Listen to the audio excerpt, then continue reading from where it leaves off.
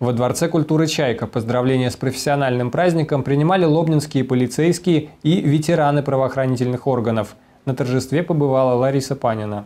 В этом году исполнилось 300 лет с момента образования российской полиции. В честь юбилейной даты во Дворце культуры «Чайка» прошел торжественный вечер, посвященный сотрудникам и ветеранам Лобнинского ОВД. За долголетний и добросовестный труд по охране общественного порядка, высокие показатели в оперативно-служебной деятельности, профессиональное мастерство сотрудникам отдела в этот праздничный день были вручены областные, ведомственные и городские награды. Конечно, самая главная э, задача – это правопорядок и спокойствие жителей. Это городской округ Лобня в этот э, серьезный 2018 2017 год э, никогда ни в каких хрониках э, нарушений или каких-то проблем не фигурировал.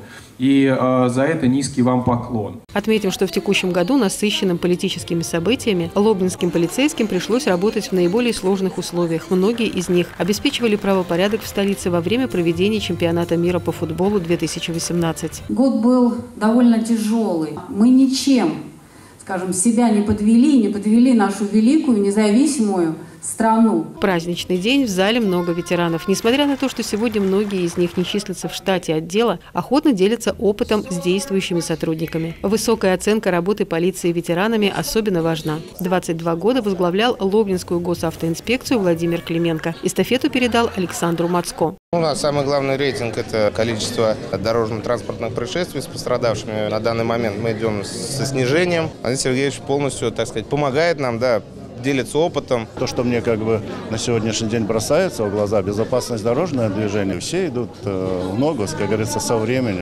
Ветеран органов внутренних дел Василий Янчук 15 лет в милиции. Ходил на работу с гордостью, что я иду на работу. Мне было интересно.